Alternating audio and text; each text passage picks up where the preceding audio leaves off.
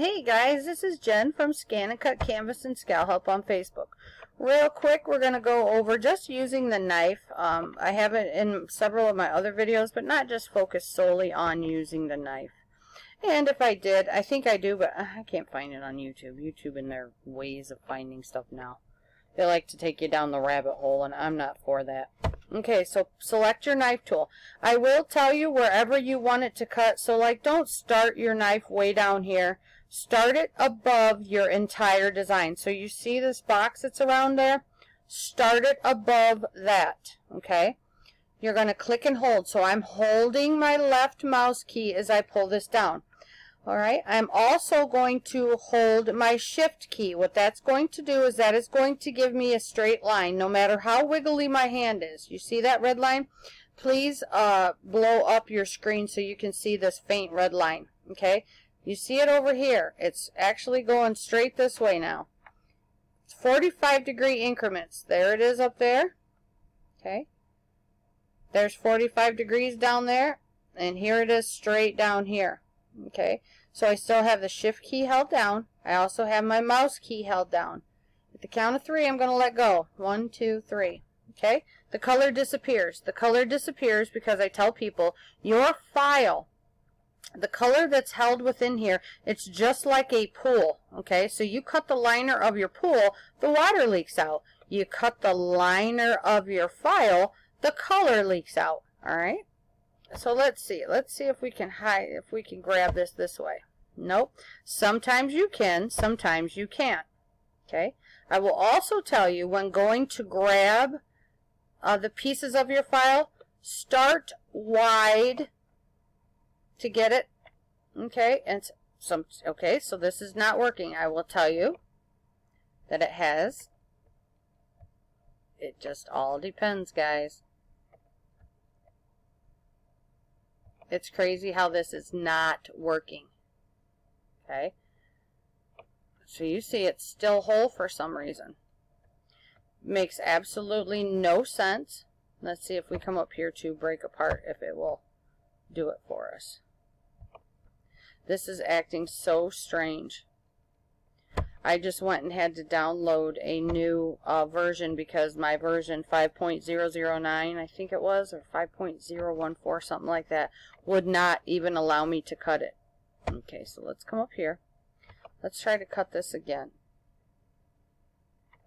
See if it finally released. This is the most odd behaving.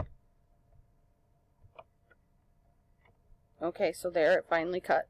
Same exact cut, but it didn't recognize it the first time. It's very strange.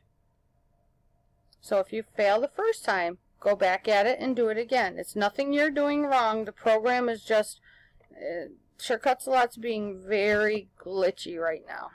Alright, so there's your two separate uh, pieces of your file that's been cut. Now, if you want to leave it like this, okay, so if you want to leave these parts open, please understand that these are actual cut or draw, whatever they are. These are your actual lines that are recognized by the machine.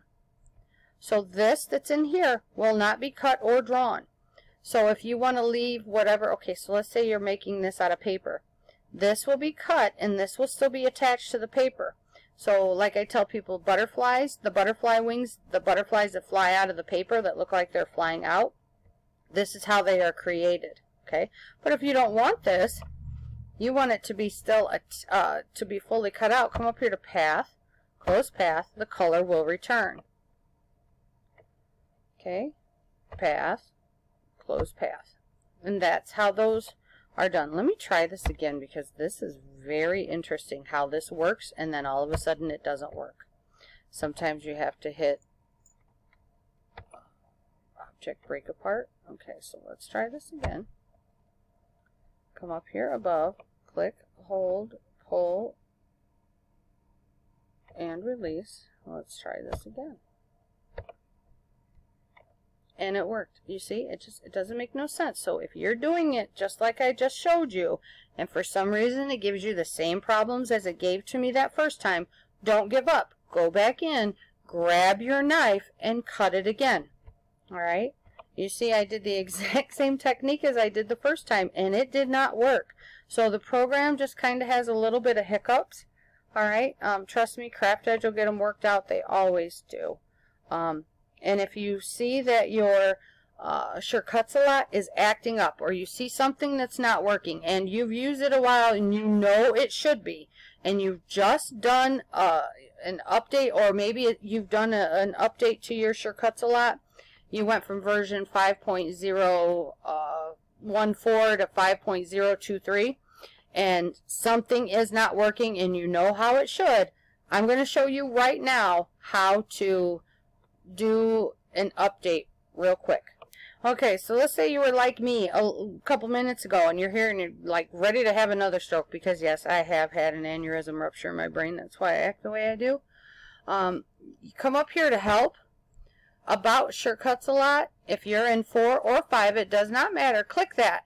Your version number and your serial number, registration number, whatever it is, that big long number will come up. Do not try to click on it and copy it. It'll disappear.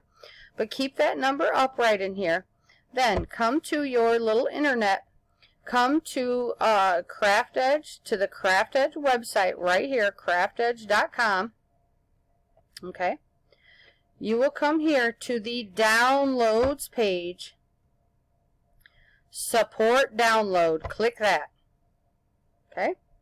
Right here, you'll put in your name and your serial number that serial number. So you'll just toggle back and forth between the page here. So you'll pull up your little number that uh, comes up on the little tiny orange screen because you clicked help.